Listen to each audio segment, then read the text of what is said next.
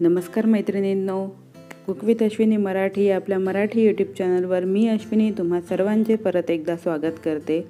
आज आपण खूपच सोपी असा चॉकलेट मूस फ्लेवरचा ॲनिव्हर्सरी केक बघणार आहोत. हा केक अतिशय सोपी आहे. तर या केकसाठी मी चॉकलेट स्पॉन्ज बेक करून घेतलेला आहे. चॉकलेट स्पॉन्जला मी तीन लेअरमध्ये कट केलेलं आहे. आता कटिंग कसं करायचं?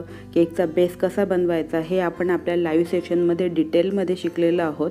तर ते मी आता परत इथे सांगत नाही आहे तुम्हाला. तर इथे मी केकला सोक करून घेते आहे. केकला प्रॉपर सोक करा हे मी नेहमीच सांगत असते तुम्हाला. त्यातल्या त्यात जर तुम्ही चॉकलेट बेस बनवत असाल तर चॉकलेट बेसला सोकिंग थोडी जास्त करा. कारण यामध्ये कोको पावडर असते तर हे हा केक ड्राय होण्याचे चान्सेस असतात. तर आता आपण हा चॉकलेट मूस फ्लेवर करत आहोत. तर चॉकलेट मूस फ्लेवरसाठी मी व्हाईट क्रीममध्ये चॉकलेट गनाश ॲड केलेला आहे. आणि हे आपलं चॉकलेट क्रीम म्हणू शकतो किंवा चॉकलेट मूस फ्लेवरचा केक इथे रेडी होणार आहे. तर व्हिडिओमध्ये दाखवल्याप्रमाणे मी हे क्रीम सगळीकडे व्यवस्थित स्प्रेड करून घेते आहे. क्रीम कशी लावायची हे सुद्धा मी तुम्हाला लाईव्ह सेशनमध्ये सांगितलेलं आहे. तर लाईव्ह सेशन तुम्ही जर अजून बघितले नसेल तर नक्कीच बघा. खूपच डिटेलमध्ये आणि खूप सोपी पद्धतीने मी हे लाईव्ह सेशनमध्ये तुम्हाला डिटेलमध्ये सांगितलेलं आहे. तर ते व्हिडिओ नक्की बघा. आता यानंतर आपण आपल्या सेकंड लेअरला सुद्धा सोकिंग करून घेणार आहोत. माझे जर व्हिडिओज तुम्हाला आवडत असतील तर जास्तीत जास्त मैत्रिणींपर्यंत ते शेअर करा. म्हणजे त्यांनाही घर बसल्या का होईना पण महिन्यातनं एक तर हजार रुपये जरी आपले निघाले तर आपल्या घराला तेवढाच थोडा हातभार होतो. तर जास्तीत जास्त शेअर करा. आणि तुम्हाला काही केक बनवताना जर अडचणी आल्या तर तुम्ही मला कमेंट सेक्शनमध्ये त्या विचारा. मी नक्कीच त्याचा उत्तर देण्याचा प्रयत्न करेल. आता आपली सेकंड लेअर इथे लावून झालेली आहे. सेकंड लेअर लावून झाल्यानंतर मी तिसरी लेअर इथे ठेवलेली आहे. आता तिसरी लेअर ठेवल्यानंतर मी केकला साईडने कवर करून घेते आहे. म्हणजे जी काही दोन केक लेअरच्यामध्ये गॅप आलेली असते ती गॅप मी फिल करून घेतलेली आहे. जर थोडी एक्स्ट्रा क्रीम तुम्हाला लागली तर एक्स्ट्रा क्री क्रीम लावून ते गॅप तुम्ही फिल करून घेऊ शकता. यानंतर टॉप लेअरलासुद्धा मी सोक करून घेतलेलं आहे. आणि थोडी क्रीम घेऊन मी वरच्या पोर्शनला सुद्धा लावून घेते आहे. म्हणजेच आपण आपल्या केकला क्रम कोट करत आहोत.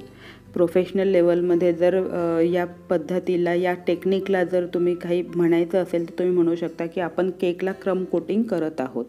आता हा केक मी फ्रीजमध्ये सेट होण्यासाठी ठेवते साधारण दहा पंधरा मिनटं. त्यानंतर आपण आपल्या केकसाठी लागणारी कलर क्रीम इथे बनवून घेणार आहोत. त्यासाठी मी व्हाईट क्रीममध्ये पॅपिलॉन कंपनीचा जेल कलर वापरते आहे इथे. हा पिंक कलर आहे. दोन तीन ड्रॉप मी इथे ॲड केलेले आहे त्यासोबतच मी येल्लो कलरसुद्धा दोन ड्रॉप ॲड केलेला आहे आणि तुम्ही बघू शकता खूपच छान आणि लाइट शेडचा असा पीच कलरची क्रीम आपली तयार झालेली आहे. आता यानंतर पायपिंग बॅग घ्यायची आहे आणि पायपिंग बॅगला हलकंसं कट करून घ्यायचं आहे. आणि आपण जी क्रीम आत्ता बनवली होती ती क्रीम आपण आपल्या केकला संपूर्ण कवर करणार आहोत. तर त्यासाठी ही क्रीम मी पायपिंग बॅगमध्ये भरून घेतलेली आहे. आणि आता मी व्हिडिओमध्ये दाखवते आहे त्याप्रमाणे ती केकवर सगळीकडे लावून घ्यायची आहे.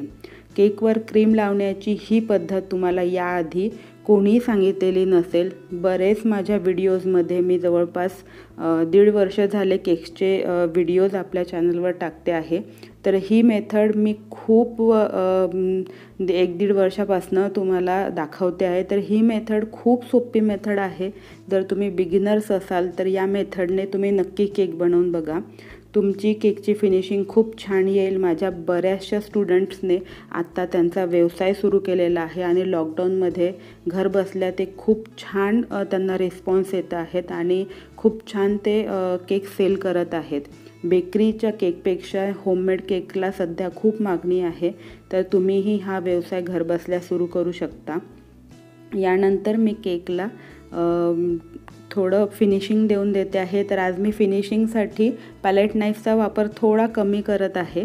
माझ्याकडे इथे एक ए टी एमसारखं एक कार्ड आहे हार्डबोर्डचं हे कार्ड आहे. त्याचा वापर करून मी केकला फिनिशिंग देऊन देते आहे. पॅलेट नाईफचा वापर अतिशय कमीत कमी इथे मी आज करण्याचा प्रयत्न करते आहे.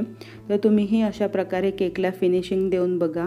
हे सुद्धा मी तुम्हाला लाईव्ह सेशनमध्ये डिटेलमध्ये सांगितलेलं आहे. त्यासोबतच मी याबद्दलचा एक डिटेल व्हिडिओ आपल्या चॅनलवर टाकलेला आहे. तुम्ही तो चेक करू शकता. आता ज्या क आपण क्रीम बनवली होती त्याच क्रीममध्ये मी अजून थोडा पिंक कलर आणि येलो कलर ॲड केलेला आहे आणि थोडा डार्क शेडची अशी मी क्रीम इथे तयार करून घेतलेली आहे. केकला आधी मी थोडं लाइट शेडनी कवर केलं होतं आणि आता डेकोरेशन करण्यासाठी थोडा डार्क शेड मी इथे वापरणार आहे. तर याचे आपण केकवर डेकोरेशन करणार आहोत त्यासाठी मी नूरचं फोर्टी सिक्स नंबर नोझल आणि नूरचं ॲन वन नोझल असे दोन नोझल आज मी वापरणार आहे. हे दोन नोझल तुम्ही नक्की घेऊन ठेवा कारण या नोझलचा बरेचदा आपल्या केक्समध्ये वापर होतो आणि हे दोन नोझल तर तुमच्याकडे असलेच पाहिजे.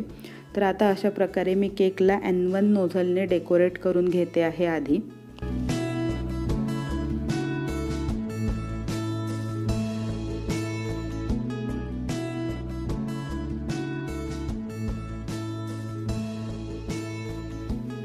आणि यानंतर मी जी लाइट कलरची क्रीम होती त्या क्रीमने नूरचं फोर्टी सिक्स नंबर नोझलने डेकोरेट करून घेते आहे.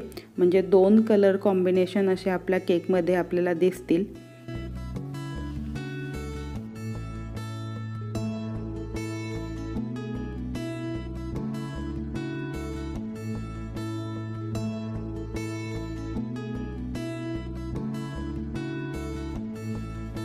सेम कलरने मी पायपिंग बॅगमध्ये ॲड करून याची बॉर्डरसुद्धा काढून घेते आहे.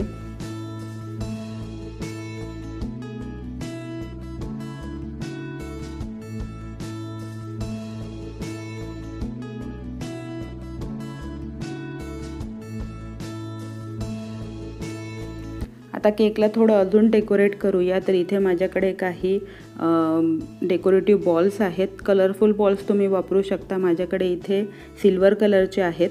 त्याने मी केकला डेकोरेट करते आहे. त्यासोबतच माझ्याकडे इडिबल बटरफ्लाईज आहेत. या वेफर पेपरच्या बटरफ्लाईज असतात. आणि या बटरफ्लाईज तुम्ही खाऊ शकता. या टोटली इडिबल आहेत. तर जेव्हा केक डिलिव्हर करायचा आहे त्याच्या एक पाच मिनटं आधी ह्या बटरफ्लाईज लावा. कारण या केकवर म्हणजे क्रीमशी कॉन्टॅक्ट आला की या थोड्या नरम पडतात. तर त्यासाठी ॲट द टाईम ऑफ जेव्हा तुम्ही डिलिव्हर कराल त्याच्या पाच मिनटं आधी हे बटरफ्लायज तुम्ही तुमच्या केकवर प्लेस करा. आणि त्यासोबतच मी फॉन्डंटचं हॅपी ॲनिव्हर्सरी असं इथे टॅग लावलेलं आहे. हे होममेड टॅग आहे. हे कसं बनवलं हे जर तुम्हाला डिटेलमध्ये माहिती करायचं असेल तर मला कमेंट सेक्शनमध्ये सांगा. म्हणजे मी याचा एक सेपरेट व्हिडिओ तुमच्यासाठी घेऊन येईल. तर आजचा हा सिंपल अँड सोबर ॲनिव्हर्सरी थीमचा केक कसा वाटला कमेंट सेक्शनमध्ये मला नक्की कळवा.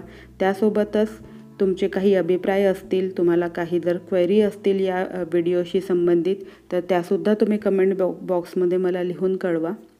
म्हणजे त्याही मी सॉल्व करण्याचा प्रयत्न करेल. परत भेटूया अशाच एका नवीन व्हिडिओमध्ये तोपर्यंत बाय आणि आजचा व्हिडिओ बघितल्याबद्दल खूप खूप धन्यवाद.